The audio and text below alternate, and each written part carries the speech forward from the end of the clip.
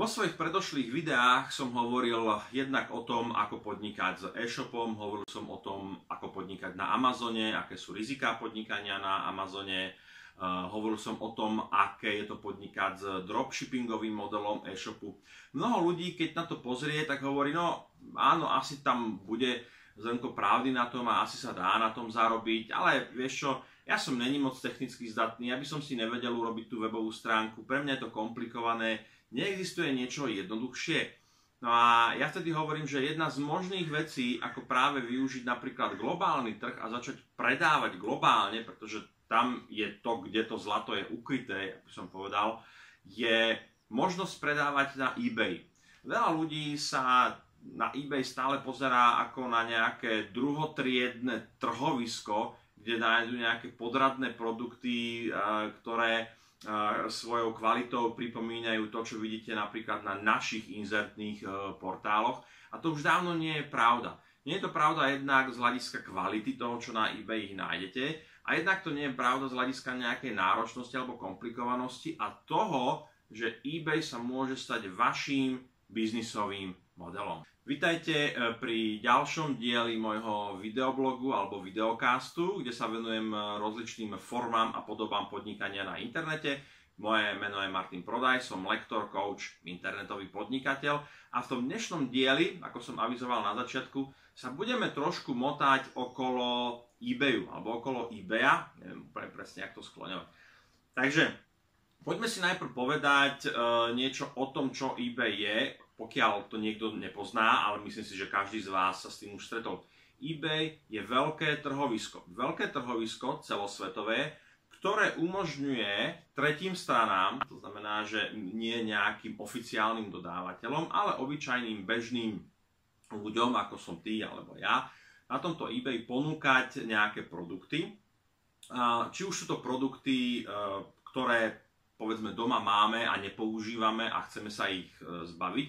Takže áno, to je tá kategória takýchto, takého toho bazárového tovaru alebo bazárového predaja, kde skutočne na eBay nájdete veci, ktoré sú napríklad nosené alebo už sú používané a tak ďalej.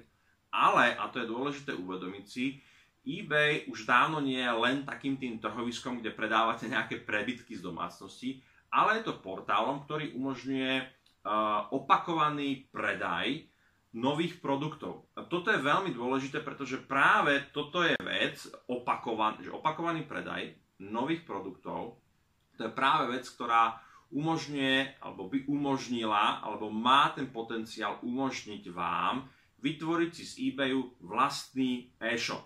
To znamená, že nemusíte nič vytvárať, nemusíte, nemusíte nič budovať, máte nejakú platformu, ktorej obrovskou výhodou je globálny zásah. To znamená, že keď máte vlastný e-shop, o tom som hovoril v tých videách s e-shopom, tak máte na Sloven- a podnikáte na Slovensku, tak máte relatívne malý trh. Povedzme si, že Slovensko má koľko? 5 miliónov obyvateľov a z tých 5 miliónov bude koľko? Bude 1 milión v produktívnom veku, ktorý by čisto teoreticky mohli byť vaši potenciálni zákazníci. Oproti tomu, zoberte si napríklad len Spojené štáty, áno, majú 250 miliónov cca, 250 miliónov obyvateľov. A teraz si zoberete jedna petina, som pri tom Slovensku hovoril o 5 miliónoch, jedna petina a 1 milión. Jedna petina to je nez, nezrovnateľne väčšie množstvo potenciálnych kupcov. Áno? Čiže ten záber je o mnoho väčší. Keď začínate podnikať na eBay, o čo vám ide? Ide vám o to, aby ste opakovane predávali ten istý produkt, pretože tým pádom vlastne um, zefektívňujete alebo maximalizujete logistiku. To znamená, že mám napríklad na eBay jeden produkt, nakúpim ho, uh, nakúpim ho od veľkododávateľa alebo od nejakého dodávateľa uh, v počte kusov 100, každý deň predám uh, dva kusy a za 3 mesiace to mám vypredané. Ale a? A to je všetko. Hej? To znamená, že práve to je na tom čarovné a to je v podstate čarovné na... Čarovné, není čarovné. To je klasický biznis model, že máte niečo, čo vám generuje zisk opakovane. Ano? To znamená, že vyberiete si nejaký produkt a ten produkt umiestnite, alebo tzv. ako sa hovorí, zalistujete na eBay. Príde nejaký zákazník od hocika dial zo sveta, ten produkt si kúpi a vy inkasujete rozdiel. Poviem príklad, vy napríklad u vášho dodávateľa nakúpite ten produkt za nejaké 3 eurá, alebo 5 eur, alebo 10 eur, povedzme 10, nech to je také, ako nech sa ľahko počíta.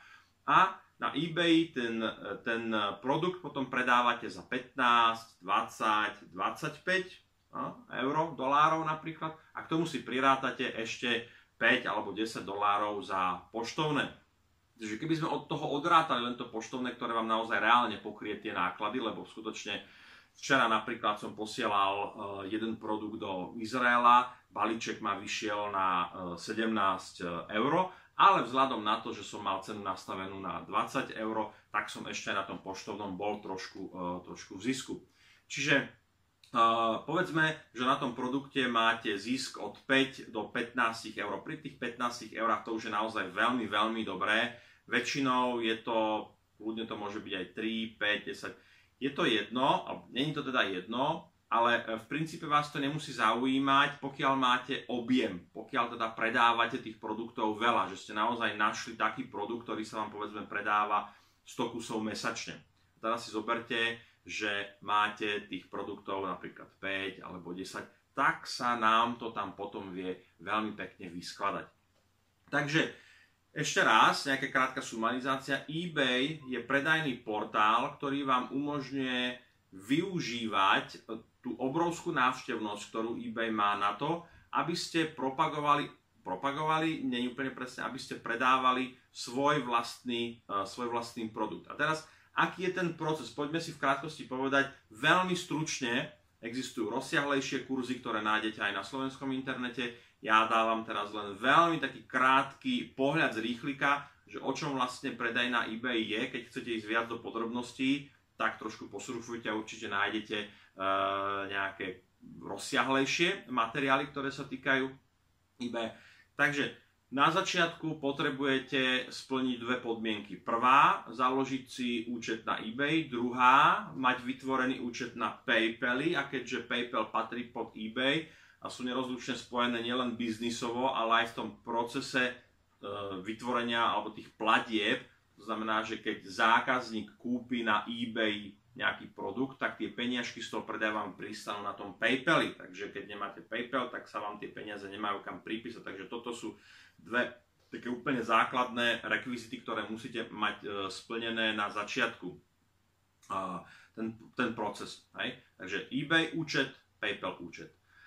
Uh, poďme ďalej. Výber produktu. Toto je štandardne jedna z takých najťažších, alebo ľudia o tom hovoria, že áno, toto je tá najťažšia vec. A nie len pri eBay. To je potom zaujímavé, že výber produktu alebo výber segmentu, kde budete vyberať uh, tie veci, tak uh, jedným z najťažších, pretože hej, keby, kto to keby vedel niekto a tí, ktorí to vedia, tak naozaj objavili zlatú baňu. Nie je to úplne jednoduché respektíve aj keď máte presnú metriku toho, toho výberu toho produktu, ktorá napríklad existuje na Amazone, tomu si skúste pozrieť nejaké moje predošlé videá o podnikaní na Amazone, tak to ešte nie je záruka toho, že naozaj ten produkt sa bude vyrábať. V princípe, ja teraz to veľmi zjednoduším, eh, na eBay môžete predávať, alebo keď chcete robiť biznis, tak sú v podstate v princípe také dve základné veci, alebo dva základné streamy, alebo smery. Prvý smer je, ten je pre nás taký, pre bežného človeka, ktorý povedzme začína podnikať na eBay, taký, taký jednoduchší, je o tom, že nájdete nejaký produkt, ktorý je v, cenovo, v cenovej dostupnosti bežného človeka. To môže, byť, to môžu byť napríklad kabelky nejaké, tašky športové, topánky, nejaká bižutéria, nejaké náradie pre domácich kutilov, ktorých e, nadobúdacia cena a e, predaj, predajná cena sa pohybuje v rámci povedzme 100 dolárov alebo 100 eur. To znamená, že napríklad kúpite nejaké náradie, máte dodávateľa na nejakú sadu šrobovákov alebo sadu kľúčov, ktorú kúpite za 20 a predávate ju napríklad za 40 aj s poštovným. Čiže tam máte nejaký profit nejakých 15, tam treba samozrejme rátať aj s poplatkami, ktoré si strha jednak eBay za produkt, za predaný produkt a jednak PayPal. K tomu si pozrite na internete eBay Fee Calculator, tam nájdete tie poplatky, ktoré teda je potrebné s tým rátať, že vám eBay bude strhávať. Netreba veľmi nad tým krútiť nosom, zoberte si, že za tých pár percent, ktoré z toho predaja vy posielate eBayu, tak vám eBay umožňuje vlastne promovať svoj produkt de facto celému, eh, celému svetu a určite to není, není dobre sa tomu snažiť nejak vyhnúť. Jednoducho, to je niečo, to je ako keby ste prestali platiť hypotéku. Proste tie peniaze tej banke patria, podpísali ste nejaký kontrakt, išli ste do zmluvy a tak ďalej. Nemyslím si, že to je potrebné nejak zvlášť jednoducho vysvetľovať. To, to čo musíte zaplatiť, musíte zaplatiť. Áno. Dobre, takže poďme späť k výberu toho produktu. Takže ten, tá jedna línia je taký ten bežný produkt pre bežného človeka, ktorý není nejak extrémne drahý a tam ten profit generujete na objeme. To znamená, že máte nalistovanú jednu položku a tú položku predávate povedzme jeden, jedenkrát denne, áno, alebo 5 krát za mesiac a na tom opakovanom predaji uh, potom získavate nejaké peniaze. K tomu výberu sa ešte dostanem. No a potom je tá druhá, druhá cesta, uh, ktorú, ktorú označujeme ako high value ticket alebo položky s vysokou pridanou hodnotou alebo veľmi jednoducho luxusné položky, kde uh, práve pracujete s tým aukčným systémom, to znamená, že nie, nie, buď s tým aukčným systémom, alebo systémom toho, že nakupujete drahé položky, častokrát sú to značkové veci ako kabelky, hodinky, šperky, možno počítače. Napríklad to nakúpite u nás e, zrovna vtedy, keď e, to majú vo, vypred, vo vypredaji alebo nejaké, nejaké čistenie zásob a kúpite to o 40% lacnejšie a, a predáte to naozaj s vysokým ziskom. Ten vysoký zisk sa ráta v stovkách eur na položku. A potom vám naozaj stačí predať povedzme dve alebo 3 za mesiac a máte vystarané. Hej. Lenže pre bežného človeka je táto druhá cesta na začiatku asi neúplne vhodná, pretože tam potrebujete výrazne veľký kapitál. Keď chcete začať obchodovať s hodinkami, ktorého majú hodnotu 1000 alebo 2000 eur, vidíte, že by sa dali kúpiť za tú cenu a predávajú sa za 4000 eur, tak to je asi niečo, do čoho veľmi nepôjdete, e, keď e, zarábate úplne štandardný bežný slovenský plat. Kdežto keď máte nejaké bežné položky, ktoré sa predávajú, ja neviem, za 5, 10, 15, mám položky, ktoré predávam za 20 eur, za 30, za 40, za 50, málo kedy sa dostanem cestovku. Hej? Čiže to sú veci, ktoré naozaj sú v takom tom finančnom dosahu tej bežnej populácie. Takže toto sú tie dve cesty, že ako, ako na tom eBay ktorej tej kategórii sa pohybovať, zvážte si to. Ja osobne by som pre začiatočníka odporúčal to prvú, tie, tie jednoduchšie alebo tie lacnejšie položky. No a teraz výber toho produktu. Ako to vyberiete? Uh, výber produktu je o tom, že vyberáte niečo, čo ideálne, vyberáte niečo, čo sa už predáva. A to je výhoda všetkých týchto portálov, aj na Amazone to tak funguje. Keď som vyberal produkt na Amazone, ale na, aj na eBay, tak sa pozerám na to, čo, o čo už ľudia majú záujem. To znamená, teraz keď to uvažujete nad logikou a poviete si, no ale ja mám vlastný produkt, vlastný výrobok, mohol by som to ponúkať na eBay. Áno, ponúkať by ste to mohli. Zarobíte na tom? Najväčšou pravdepodobnosťou asi nie, pretože to nikto nebude poznať. Ale keď idem e, na, keď idem na eBay a pozriem si napríklad, že je tam nejaká stavebnica uh, Lego tak, a vidím, že táto stavebnica Lego sa predáva, tak s najväčšou pravdepodobnosťou je to jeden z možných spôsobov, uh, si poviem, aha, tak nájdem veľko dodávateľa alebo veľko obchod s Legom a opýtam sa, či by sme napríklad túto stavebnicu nevedeli uh, dodať za nejakú lepšiu cenu. A zase klasická arbitráž, arbitráž rozdiel medzi nákupnou a predajnou cenou, nakúpim, nakúpim o u veľkoodberateľa uh, tie hráčky a potom ich predávam na eBay. Alebo to môže byť oblečenie značkové napríklad. Čiže pozerám sa, o čo už je záujem, ako to zistíte veľmi jednoducho, keď si akýkoľvek produkt nájdete uh, na eBay, choďte tam, pozrite si, dajte si napríklad uh, kľúčové slovo watch, alebo watches, hodinky, alebo toys a keď si rozkliknete stránku toho produktu, tak vidíte myslím, že vedľa ceny je také červené číselko, kde e, vám to ukazuje, že koľko tých produktov bolo predaných. To znamená, že vidíte, že o tie produkty je naozaj záujem. Niektoré čísla sú enormné, idú do stoviek až tisícov predajov. Keď si to rozkliknete, tak vidíte, že koľko ten človek predal. To znamená, že viete, že o tento produkt je záujem, je dopyt. To znamená, že a vašou úlohou teraz je, a to je tá ťažšia časť, je snažiť sa nájsť taký produkt uh, u niekoho, kto vám ho bude dodávať a potom ho začať ponúkať na, na eBay.